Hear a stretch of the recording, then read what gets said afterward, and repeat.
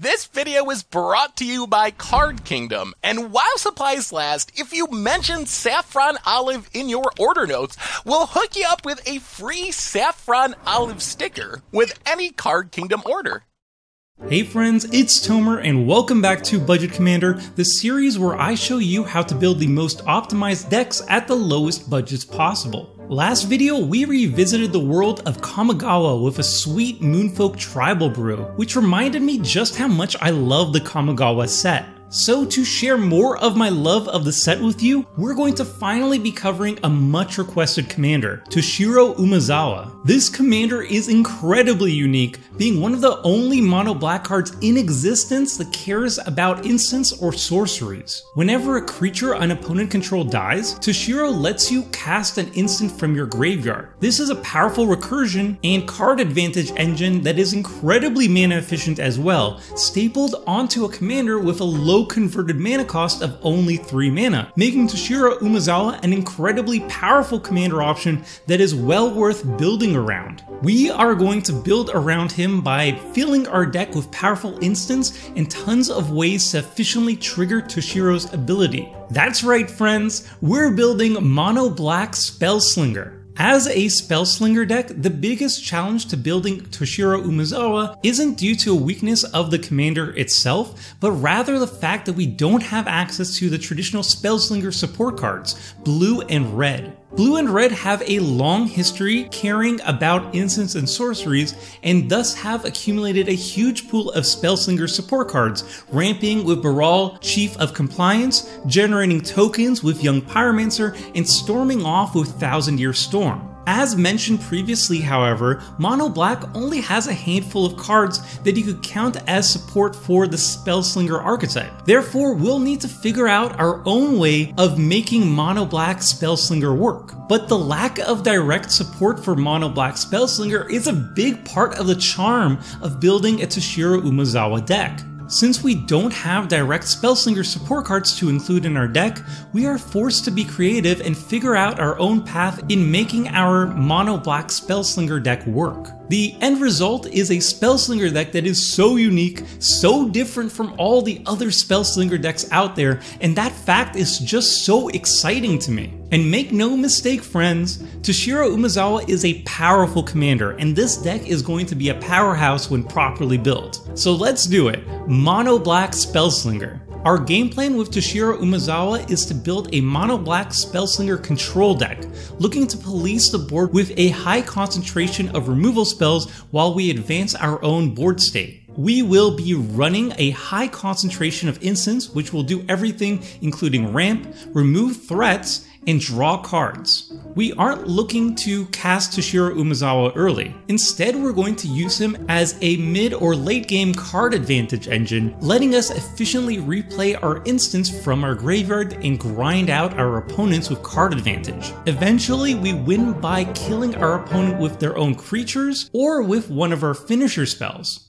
If you want to play a totally unique mono black Spellslinger deck looking to control the board until you're ready to push your I win button, then Toshiro Umezawa is the right fit for you. This video will cover the key aspects to building the deck, then put it all together for some sample deck lists. As always, if you're interested in a more in-depth guide for this commander including hundreds of card options, then check out the accompanying article linked in the video description below. First off, let's talk about lands. Outside of the usual mono black good stuff lands, there's a few unorthodox land choices that work really well in a Toshiro Umezawa deck. Since we're packing tons of targeted creature removal, Arcane Lighthouse is one of the best lands in the entire deck, allowing us to get around both Hexproof and Shroud. Detection Tower is a much worse version since it doesn't get around Shroud, but it's still great here. Since we're running so many instants, Boseiju, who shelters all, protects the majority of our spells from counter magic.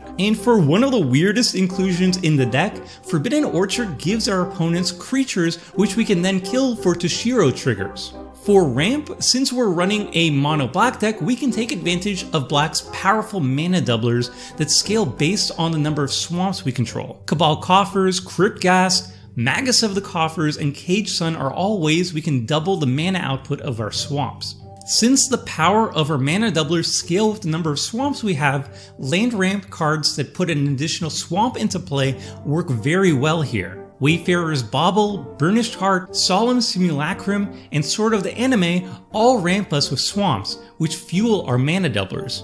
For Toshiro Umezawa's spice, we've got two rituals, Dark Ritual and Cabal Ritual, which help us ramp out spells and we can cast them again from the graveyard with Toshiro. Since we're running so many instants, Primal Amulet is a superb ramp in our deck, eventually flipping to copy our instants for even more value. Another underrated gem is Victory Chimes. Since most of our spells are instants, we can spread out our spells over multiple turns, which means we can use chimes multiple times per turn cycle to generate tons of mana for us. Black has tons of amazing card draw options, including some sweet instants. Our deck puts a high value on bursty, mana efficient card draw to keep our hand full of options. Even discarding to hand size is alright because we can always recur the cards later with Toshiro Umezawa or other cards. Because of this, Necrologia is one of the best raw card draw spells we can run on a budget, drawing us a ton of cards for the amount of mana that we're spending. Other great instant card draw options include Succumb to Temptation, Dark Bargain, and the flexible Wretched Confluence. As a control deck, we're going to be running a higher than average amount of removal spells to police the board. Creature removal is even more valuable than usual since creature death triggers our commander. Creature removal that costs the least amount of mana is the best with Toshiro because the less mana we spend to kill creatures, the more mana we have left over to cast instants from our graveyard with Toshiro's trigger. Snuff Out and Force of Despair are two of my favorite creature removal spells in this deck for this reason, allowing us to kill creatures for no mana at all. Liliana's Triumph and Malicious Affliction are also great because they can kill multiple creatures for just 2 mana, giving us multiple Toshiro triggers. To deal with other permanent types, we've got Scour from Existence. For Graveyard Hate, there's Shred Memory. And for board wipes, we've got tons of options like Mutilate and the Nevinyrral's Disc. Black is the undisputed king of tutors, and there's good options at any price point. If you can afford it, then Vampiric Tutor is probably the best tutor overall in a Toshiro deck since it's an instant. Cheaper options like Dark Petition and Beseech the Queen are also fantastic here. And if you're on a tight budget, then Diabolic Tutor does a fine job as well. We aren't running a whole lot of non-land permanents, so we're not too worried about opposing removal. However, there's a few permanents we'd rather not be killed, most notably our commander, so we can run a few ways to protect him and our other handful of important permanents. Undying Evil, Supernatural Stamina, and Imp's Mischief can cheaply protect Toshiro from removal. Oathkeeper, Takeno's Daisho, is the coolest way to keep our samurai commander safe, at least until someone finds artifact removal. There's also proactive protection available like Swiftfoot Boots and Whispersilk Cloak. Another way we can protect ourselves is with hand and library disruption. Since we're a control deck without access to blue's counter magic, we're particularly vulnerable to opposing control decks and combo decks that can attack us with instants and sorceries that we struggle to interact with. The best way to deal with these is to be proactive and stop the problematic cards from being cast in the first place. Duress, Mire's Toll, and Thoughtseize can take threats out of our opponent's hand, and Sadistic Sacrament can exile combos before they can be assembled. Once we've ramped, drawn tons of cards, and removed all the threats, it's time to win the game. This deck has tons of options to close out games, and I'll go over my favorite ways. The first way is by killing our opponents with their own reanimated creatures. The best instant that does this is Thrilling Encore, which can give you a game-winning army after a board wipe. Grim Return is a mini version of this effect, costing less mana and only grabbing one creature. Sepulchral Primordial is another mass reanimation card that can win games, but if you can afford the price tag, then there's no better option than Rise of the Dark Realms. Since our deck generates a ton of mana thanks to our rituals and mana doublers, we can dump our mana into a lethal X spell like Exsanguinate or Torment of Hailfire. Since we're all about killing creatures, we can also turn that into a win condition with Revel in Riches. Finally, we can turn any creature into a huge threat by equipping them with something that boosts up their power like Strata Scythe. Now that we've covered all key aspects of the deck, let's see how everything comes together with sample deck lists. You can view the full deck list linked in the video description below. The first list is currently just $25 at the time of this recording. Our Spellslinger control list is the bane of any creature heavy deck, absolutely loaded with targeted and mass creature removal.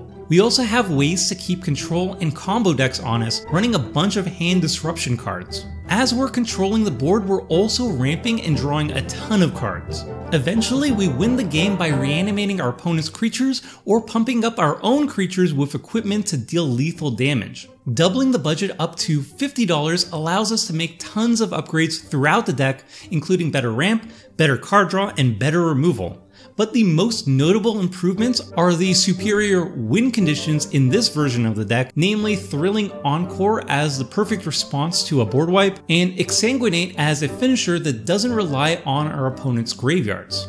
Doubling our budget again to $100 allows us to make loads more upgrades throughout the deck, mostly replacing cards for similar ones that cost less, like Final Parting turning into Dark Petition and Diabolic Tutor becoming Beseech the Queen. We're also adding more mana doublers like Magus of the Coffers and Cabal Stronghold, along with more ramp like Solemn Simulacrum so we can fuel lethal X spells like Torment of Hailfire. There's only a handful of card changes going from the $100 list to the $200 list because most of the upgrades from here on out are going to be very expensive. We've added Cabal Coffers and Urborg Tomb of Yawgmoth for Insane Ramp, and Expedition Map to help find those lands. We've also added Jet Medallion as one of the best mono black ramp sources, and we've upgraded one of our finishers from Sepulchral Primordial over to Rise of the Dark Realms. If you want to take the deck even further, you'll eventually add cards like Vampiric Tutor, Demonic Tutor, Ancient Tomb, Boseiju, who shelters all, and other good stuff staples so the deck is faster and more efficient. And that's it for Toshiro Umezawa Spellslinger Control. I hope you enjoyed my take on him, and as always, if you're interested in a more in-depth guide to the deck, then check out the accompanying article linked in the video description. And if there's a commander that you'd like to see me cover in a future video, then let me know by leaving a comment. Until next time, friends, see ya! Thanks for watching the video. If you liked it, help us out by clicking that like button down below. And to keep up with the latest and greatest, click on the subscribe button, and don't forget to hit that bell icon to get alerts whenever we have new videos. And if you want to check out similar videos, click on the links here and here.